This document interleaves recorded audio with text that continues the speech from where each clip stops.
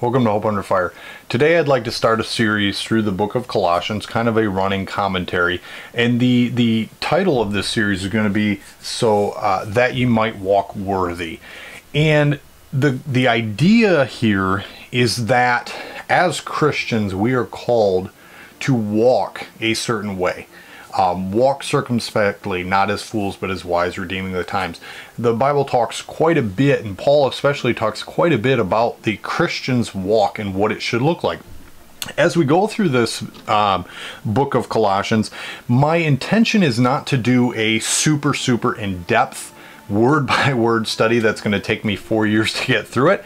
Um, I, am looking more toward, you know, somewhere around 16, 18 um, half hour lessons to get through it chunk by chunk, but it is going to be exegetical, but a little bit more zoomed out. And I'm going to be using a certain focus as we go through it. So I want to be upfront with that. I'm not um, coming at this completely blank. I'm coming at this passage with a focus because I think there is a theme to the book of Colossians that I want to kind of draw out for the Christian and apply it today.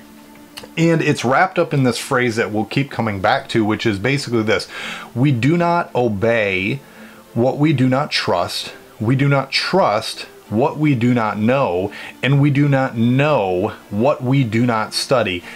And we'll keep coming back to that phrase because it is it is kind of crucial to understanding what's going on in scripture. The Bible one of the reasons the Bible was written, and we'll look at this and we'll unpack all this as we go through Colossians and as we come to these different parts. But the Bible is written, uh, one reason is to equip Christians to walk worthy and to be ready for all good work in the work of the ministry, to equip them for ministry.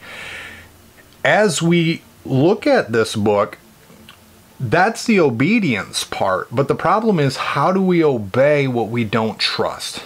To illustrate that, if I'm walking, say, downtown, and uh, a gentleman walks up to me or to you, and he looks very clearly homeless, and perhaps he's a large, imposing fellow, and maybe talking to himself looks a little bit crazy, sounds a little bit crazy, and he says, Hey, why don't you step into this dark alley where no one is? I got a surprise for you. Are you going to obey him? Well, not if you have a choice, more than likely. You're, you're probably not going to. Why? Because you don't trust him. Now, here's the difference. If my wife asks me to step into the bedroom because she has a present for me, I'm much more likely, well, no, bad example. My wife would probably murder me too, but you get the point. Uh, you know, I, I, trust my wife. I would probably obey her if she asked me to do something much more than I would some imposing, uh, crazy homeless person. And, and that's the concept. Can I obey God if I don't trust God? But how do I learn to trust God? How, and, and I just kind of gave it away. I have to learn to trust God, but how does that happen? We don't trust what we don't know, and we don't know what we don't study. So we go back to the marriage kind of analogy uh, of husband and wife. If I'm going to say, I love my wife, but I don't know anything about her, do I really love my wife if I know nothing about her? Probably not. Same is true if I say I'm going to love God but I know nothing about God or very little about God, can I really truly say that He is the object of my affection? The answer is probably not really. I mean, He might be important to me, and I'm not saying that if you don't know a lot of theology or something, you don't love God, but I am saying, is have you made Him a priority? Have you made God and knowing God, relating to God, understanding God, have you made that a value and a priority in your life, or is it just kind of a backseat thing that I don't need to know that. And that's what we're going to look at Colossians and see is this vital for the Christian? Is the Christian supposed to study to know, know to trust, trust to obey? Is that the progression? So uh, I'd like to get into the first section here, which is going to be verses uh, 1 through 8. So, Colossians chapter 1, verse 1 Paul, an apostle of Jesus Christ, by the will of God, and Timotheus our brother, to the saints and faithful brethren in Christ which are at Colossae Grace be unto you, and peace from God our Father and the Lord Jesus Christ. We give thanks to God and the Father of our Lord Jesus Christ, praying always for you, since we have heard of your faith in Jesus in Christ Jesus, and of your love which you have to all the saints for the hope which is laid up for you in heaven, whereof ye heard before in the word of truth of the gospel, which is come unto you, as it is in all the world, and bringeth forth fruit, as it does also in you, since the day you have heard of it, and knew the grace of God in truth. As ye also learned of Epaphras, our dear fellow servant, who is for you a faithful minister of Christ, who also declared unto us your love in the Spirit. Now, in this section, I want to highlight a few um, words and, and, the phrases around them and kind of look at some of the other stuff in Scripture and then see if there's some corresponding application for us today. One of the first things I see here is that we have the the repetition of Paul often talks about faith, love, and hope, right? So you have faith, heard of your faith in Christ, your love which you have to all the saints, and the hope which is laid up for you in heaven. And those are three things I want to key in on for a minute. So let's start with the first one. Verse 4 says, We have heard. Uh, actually, let's back up to three. We give thanks to God and the Father, our Lord Jesus Christ, praying always for you, since we have heard of your faith in Christ Jesus. Now, Paul often does this where he talks about praying for these believers, praying for churches, and continually praying for them. And I think this is a pattern that he sets that is something we ought to be following as Christians to constantly pray for one another. Um, but as we're going to see as we move forward, there's things that he specifically prayed for that I think that we need to start praying for. But one thing he was doing is praying and giving thanks. Now, if you followed Brian's stuff, he did a whole attitude of gratitude or something like that sermon that was really great. Dive into the idea of thankfulness and how crucial it is. Um, if you look at Romans chapter 1, and we'll go there for a minute. Romans chapter 1, which is the kind of the fall of all the nations. Um, verse chapter 1 romans chapter 1 verse 18 for the wrath of god is revealed from heaven against all ungodliness and unrighteousness of men who hold the truth and unrighteousness so god's wrath is poured out on these nations we we see that in this uh, passage. Um, he gives them up he gives them up he gives them over to reprobate mind. Humanity is kind of all judged as sinners by this but notice what kind of leads into this. Verse 21 says, Because they knew God, when they knew God, they glorified him not as God, and neither were they thankful. That idea of thankfulness is tied in with the fact that they did not give God glory. They had no gratitude toward God, no thankfulness toward God, and that led them to not glorify God, which led to the fall of mankind uh, you know, and, and beyond Adam, each one of us became ungrateful. And in that ingratitude, we no longer put God in the position of glory and honor and praise that he deserved. And God allowed that. It, we go through the passage, and God permits man to go this way of ingratitude and ungratefulness and to no longer give him honor and glory. And this is what leads to our fall and our demise and our, uh, you know, just uh, derangement, I guess, as a, a species. As we become more and more deranged, it's because we give God less and less glory because we're less and less thankful. So, Paul starts with this idea of gratitude, and he says that we have heard of your faith in Christ.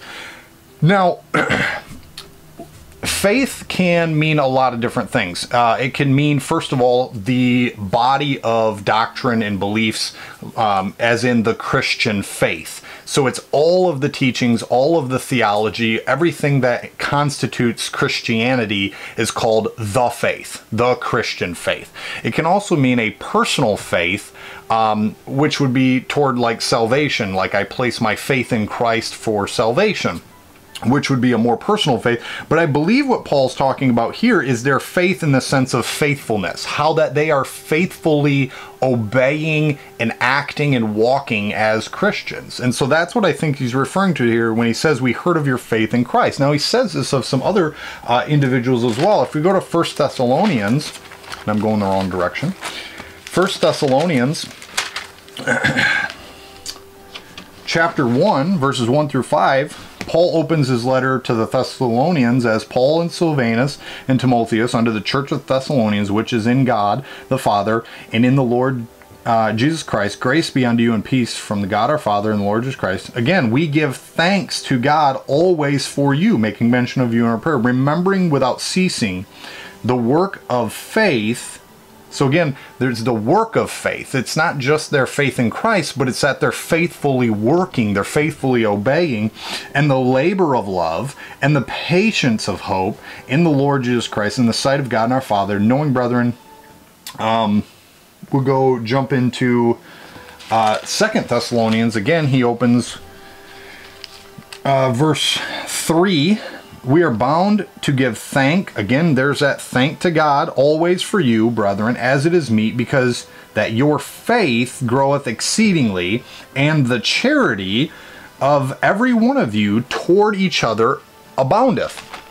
So again there's this working faith this this outpouring of faith that is doing things. Um, then in let's go romans 1 verse 8 now Paul had not been to Rome at this point.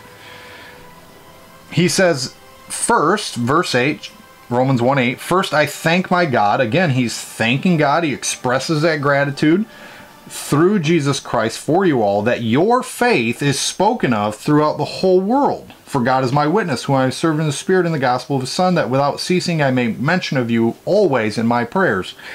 So, when I hear things like that, where Paul is talking to these churches, or uh, I think in Philemon, or no, Philippians, he also says something similar. Oh, I'm going the wrong way again. Philippians chapter 1. Um, I thank my God upon every, this is verse 3, I thank my God upon every remembrance of you. Again, there's that thank, always in every prayer of mine for you, making requests with joy, uh, for your fellowship in the gospel from the first day to now, and then drop down uh, to verse 8, I believe, or 9, excuse me.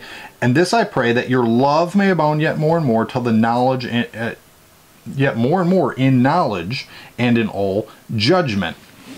So they, all these churches, now these are the churches that um, did well uh, you know, I would say that these are the churches that when Paul opens with that and talks about their faith being heard throughout all the world, Paul spends very little time with these particular churches um, dealing with lots of sin issues. In contrawise, if you look at like First Corinthians, for example, um, Paul spends quite a lot of time uh, dealing with sin issues, gross immorality, drunkenness, and debauchery in the Lord's Supper, um, fornication, um, cliques, factions, uh, preferring the wealthy over the poor. There, there was a lot of mess. Um, he still uh, he tells them that they're called to be saints. Um, tells them grace be unto you. But what I don't see, what I don't see in the first beginning of of Corinthians is I don't see that their faith is heard of throughout the world. I don't see that they're behaving themselves in a way that honors Christ. He tells them that they're called to be saints, that they're supposed to be saints, and then he spends a good portion of the rest of that letter instructing them in how their attitudes and actions are not consistent with what Christ would have them to do. So, on that faith side of things, in back in Colossians, this is one of the things that God wants for us. God wants us to have that exercising faith, that walk, that that faith that produces and can be uh, known about throughout the whole world, like in the Romans passage. Now, here's the application to today, a little bit, or or one little rabbit trail that we could talk about it on, and it's the concept that is constantly out there today, and that's of um, revival. We want revival. We want revival in America. We want revival in the churches. We want revival, revival, revival. So I have an unpopular opinion on revival. And before you shoot me or anything like this, let me explain. I personally don't like the concept of revival. And, and before you throw stones, hear why. What is revival? If I need to revive something, what does that mean has happened to that thing? Well, that thing has deceased. It is impotent. It is no longer uh, alive or useful or doing anything good.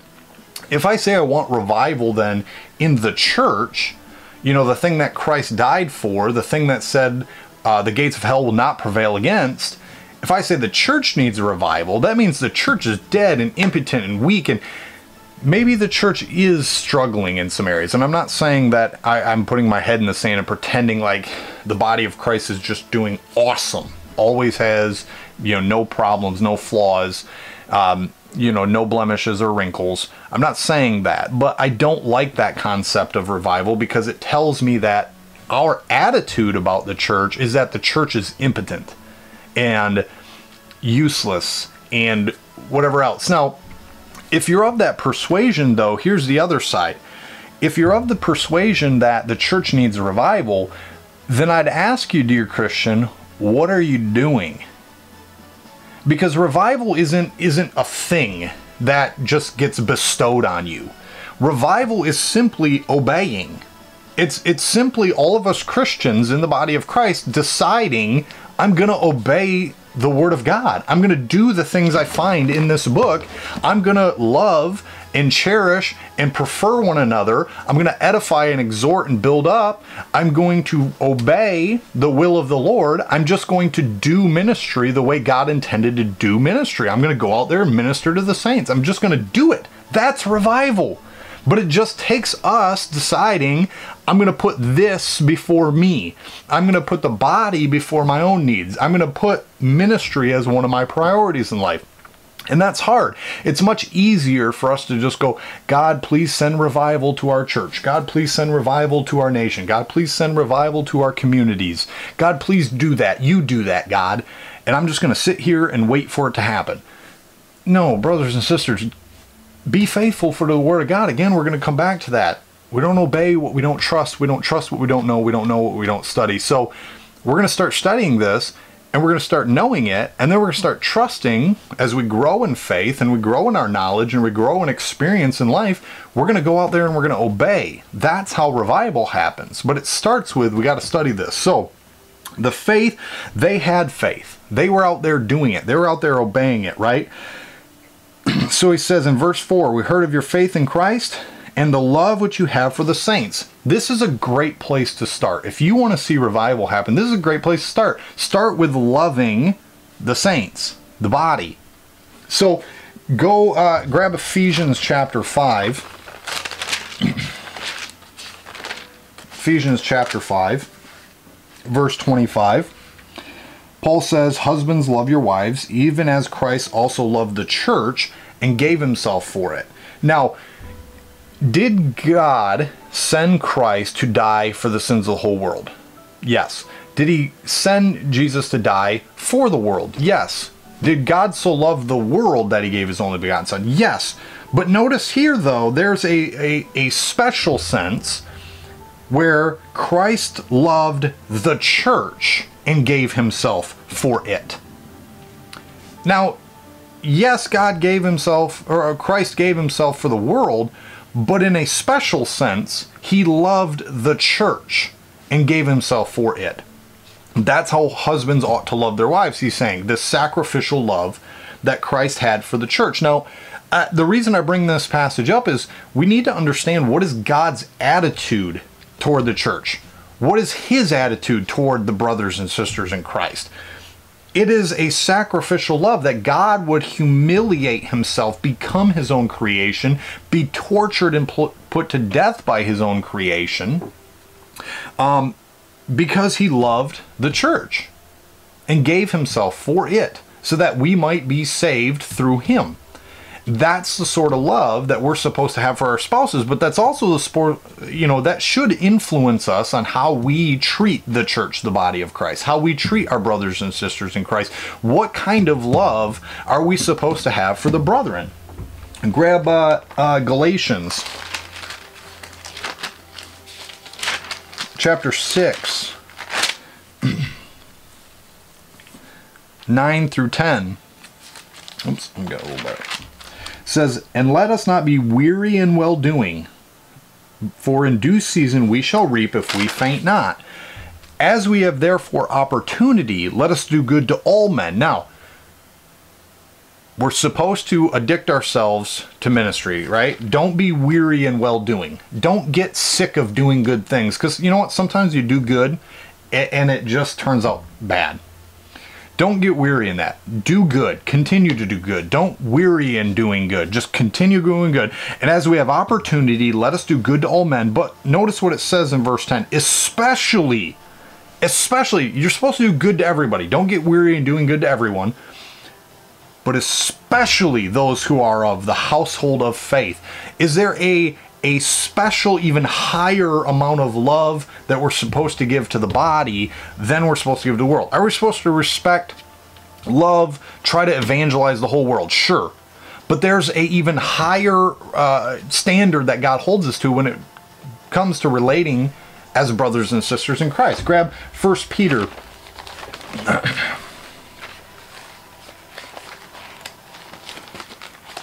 and I'm not going to get through everything I wanted to in this one, so we'll have to make a part two of this. First Peter, oh, if I can get there, chapter 1. chapter 1 and verse 22. Seeing that you have purified your souls in obeying the truth through the Spirit unto unfeigned love of the brethren, see that you love one another with a pure heart fervently now, regardless of uh, who Peter might be writing to, Jews or Gentiles, I think this is still the the mind of God toward us as believers. Are we supposed to have an unfeigned love of the brethren? See that you love one another with a pure heart fervently. Right? This is how believers in Christ need to act toward each other. One more, grab 1 Corinthians chapter 16. Again, 1 Corinthians is that rough, really rough church that needed a lot of help. Uh, 1 Corinthians chapter um, 16, verse 15 says, I beseech you, brethren. He says, I beg you, I implore you. You know the household of Stephanas, first fruits of Achaia, that they have addicted themselves to the ministry of the saints, to the serving of the saints. They have addicted themselves. I beseech you. And he says, what is he beseeching them about these people? Submit yourselves to such and to everyone that helps with us and labors. They have addicted themselves to serving the saints and to ministering to them and to serving the body of Christ. And, and Paul says, I beg you, those kind of people, submit to them submit to them and in everyone that helps with us and labors. That's hard to do. I get that. But that's the attitude that God has. And so in Colossians, and as we're going to see in the, the next part, uh, faith, love, and then we get to hope. But we're going to ask, how do we get there? How do we obey that? How do we get to a point where we have that sort of working faith and that love of the brethren um, and, the, and that hope? How do we get to that point? So, um, this is a good point. I'm going to kind of end it here in a second and we'll pick up with hope in the next pass eh, or in the next video. But I want you to think of that. We don't obey, and that's what we're supposed to do, right? The one of the reasons the Bible is written so that we would obey. Okay, that we would have changed lives. That's one of the reasons in scripture, and we'll talk about some of the other reasons in the next video, but one of the reasons is that we do obey. The the Bible is supposed to change our lives. It's supposed to impact us. But how are we going to obey if we don't trust God, if we don't trust His Word? How are we going to know God and His Word? How are we going to trust it if we don't know it? How do we know it if we don't study it? And so, as we continue to go through this, we're going to continue to unpack that. Um, but until next time, I love y'all and I'm praying for you. See you later.